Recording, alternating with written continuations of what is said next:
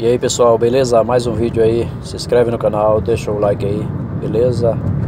Estamos aqui pela essa rodovia e gostaria de estar tá dando um, um toque aí pro pessoal aí que vai pegar as estradas esse final de ano. Estamos chegando no final de ano, o pessoal viajando aí.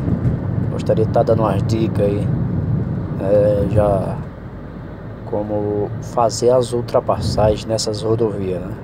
Pessoal, às vezes por falta de experiência, é, faz umas ultrapassagens perigosas.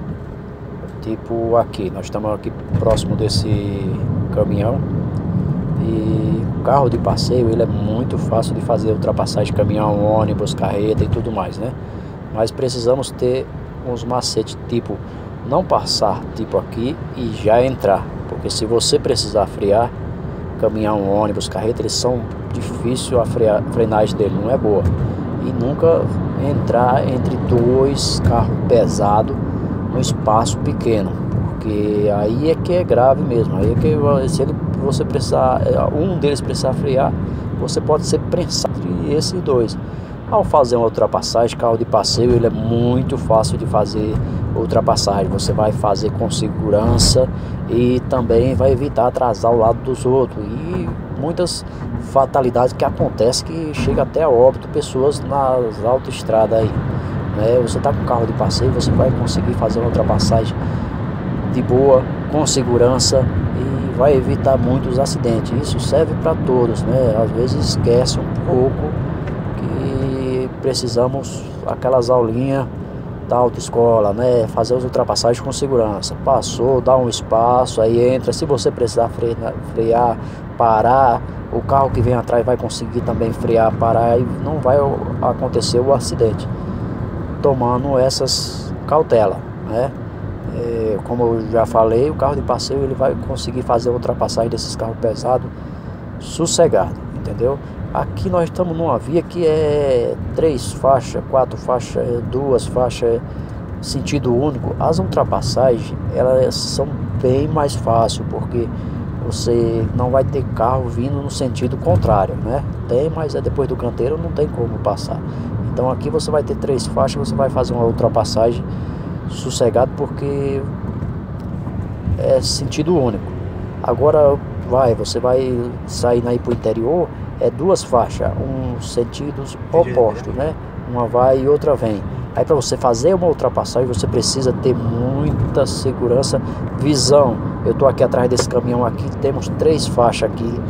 Eu não estou vendo os carros lá da frente. Isso é sentido único. Agora você imagine a sentido duplo, né? Eu, eu atrás de um caminhão, essa outra faixa de, da esquerda do caminhão vai ser o sentido oposto. Qual a visão que eu tenho aí? Então, ter muita cautela nessas horas de ultrapassagem, esperar dá uma olhada se você tem a visão lá da frente. Aí você faz a ultrapassagem com segurança. Isso vai ser bom para você e para todos da via. Então, é, como se fala, tempo chuvoso, não fica muito próximo de caminhão, é, esses carros pesados, que ele joga água, essas coisas, você vai perder um pouco da visão da, da via. Ao fazer a ultrapassagem, desses caminhões em sentido duplo, também prestar muita atenção em tempo que está chovendo, que ele joga muita água no seu para-brisa. Você pode perder um pouco da visão. Tenha cautela nessas horas, entendeu? É, período chuvoso é o mais perigoso que tem, e principalmente para quem está iniciando, entendeu? E não tem muitos os macetes, como é que funciona, né? Eles é, são os mais perigosos nesse tempo aí fazendo essas, tomando essas cautelas aí, você vai fazer uma viagem tranquila, você vai passar a, a turistar de boa, vai em paz e vai voltar em paz. Que é isso que todo mundo quer, beleza? É, evitar tá passando do limite da velocidade da via, porque já que está lá aquela limite de velocidade é porque a via não dá condições de você andar acima daquela velocidade.